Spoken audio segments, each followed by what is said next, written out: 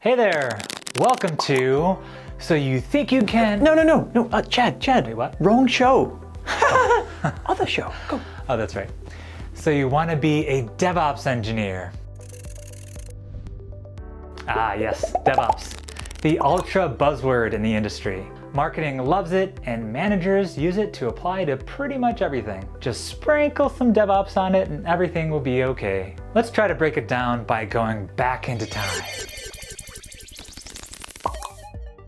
Let's for a moment imagine the world of 2007.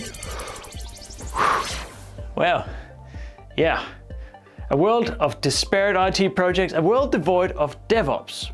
When working on a software project, developers would be adding features, making bug fixes, and other changes, but nobody would ever check to see if those changes work together with the other components. After months of working on a project and with bated breath, the projects were tested not knowing if they would succeed or fail. Hmm. When there was a failure, there would be a series of error messages, and those error messages would sometimes not appear until weeks later, in which someone would essentially copy the error messages and scramble to try to fix it. They would try and run the program again, and they would get another set of error messages. And this process would repeat over and over and over again.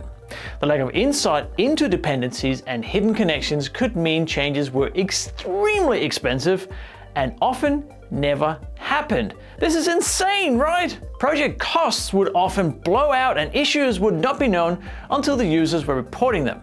If something did go wrong, the downtime could be significant until the fault was found and rectified. Now fast forward to the present, we have a process now called DevOps that allows us to go through this process of running the program, testing and fixing bugs much faster. This results in features getting released faster and fixes getting out to our customers without any downtime. Mm, hooray! There's a famous graphic of an infinity symbol, there it is, which alludes to that process of build, test, deploy, monitor, plan, code, and repeat indefinitely, and a lot of times, multiple times a day. This is what DevOps introduced to the world. There's a lot to like about what DevOps introduced to the IT space.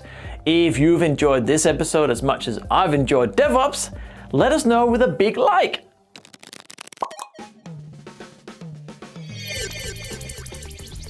Phew. Feels good to be back in 2020, right? So let's jump into what exactly a DevOps engineer does apart from writing code, working in teams, and wearing pretty cool t-shirts, right? You could be designing and implementing a continuous integration and continuous deployment pipeline, also called CI/CD. This is when the code the developers have written is automatically tested, built, confirmed, and pushed to the production environment, fully automated, without any human input whatsoever.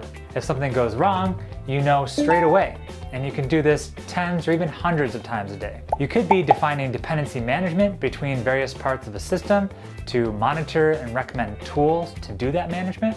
Other tasks include security inspections to ensure code doesn't contain common vulnerabilities and exposures, also called CVEs, managing code quality to ensure bugs are worked out and the program behaves as expected, analyzing where applications are hosted in order to optimize performance, building infrastructure for new applications in a way that's building infrastructure as code, and improving the communication between project managers, project stakeholders, and the rest of the company. Being a DevOps engineer really involves wearing a lot of hats. Of course, being a DevOps engineer isn't all sunshine and rainbows. First of all, you'll often get stuck between wearing your developer hat and your operations hat. Two hats. The role is still relatively new and many places will dump both developer tasks and operations issues on your desk. Second, if you walk into a company that already has a more established system and ways of doing things, introducing new DevOps practices may not be met with open arms or not open. There can be significant cultural challenges as DevOps tends to introduce a pace and working method that can be foreign and hard to adapt to. Also, Trying to apply DevOps practices to legacy or monolith applications can be difficult, being that even the slightest change affects each and every part of the application. So yeah, moving from a monolith to a microservices application, allowing for a more fast-moving release cadence, takes some major shifts and cultural changes. Taking all this into consideration, how do you end up in a role like a DevOps engineer? Well, you gotta have skills. The following are the five major skills you need on a path to DevOpsiness. Configuration. So learning how to configure computing systems using modern tooling. Versioning.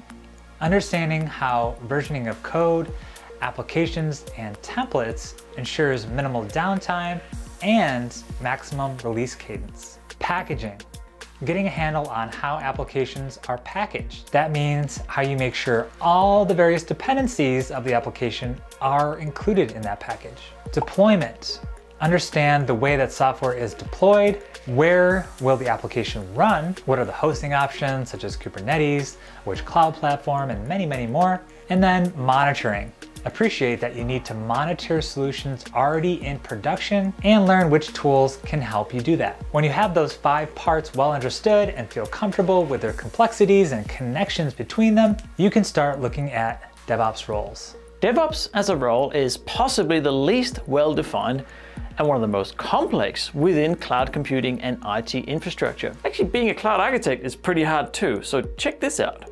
Bridging a gap between two distinct roles and two distinct cultures can be a huge ask. So, you want to be a DevOps engineer? But what's next? It's time to build your experience in cloud. So if you're still learning about the cloud, then check out our courses, get your hands dirty with hands-on labs, and follow the path of resources we've recommended to help you get started. If you'd like to learn more about the cloud, then make sure you subscribe so you don't miss out on our new episodes. Thanks for joining us and keep being awesome, DevOps professional guru.